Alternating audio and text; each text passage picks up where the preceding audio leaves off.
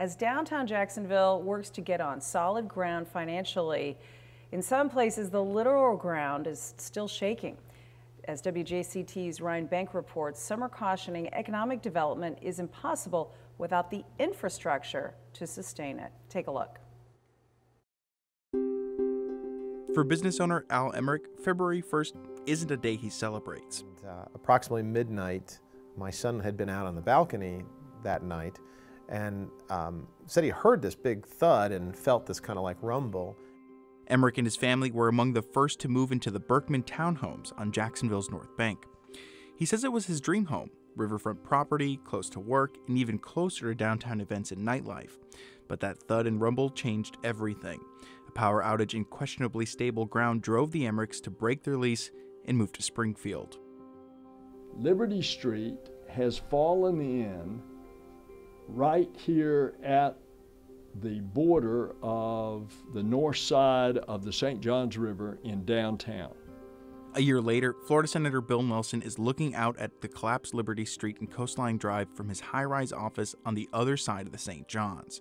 Nelson says help is on the way. And the City Council and the Florida Department of Transportation have already uh, decided that they are going to do this over the next several months.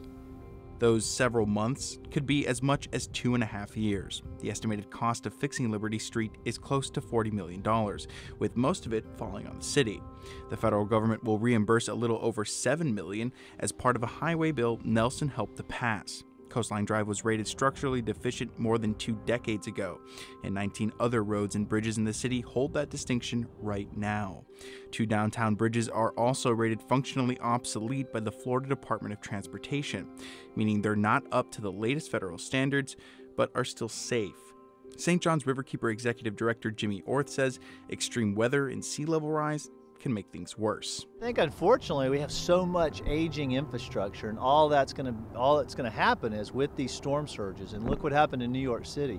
It's just going to put more pressure on that aging infrastructure, weaken that aging infrastructure. And then when, as we go in and we replace this infrastructure, we really should be thinking about how to protect it. Orth says redeveloping downtown is useless if one major storm like Hurricane Sandy can wash it all away.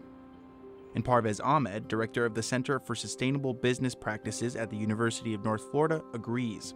But he says environmental considerations and economic development aren't mutually exclusive. Well, sustainability from a business perspective is a three legged stool. Is the easiest way to understand sustainability from a business perspective is to think about the three P's people, planet, and profit. Ahmed says he'd like to see the city partner with private businesses and nonprofits to take sustainability seriously. City officials say they're prepared for extreme weather, but Jacksonville recently dropped out of the 100 Resilient Cities program, which would have brought $1 million in funds and services to address climate change and other issues. For Community Thread, I'm Ryan Benk.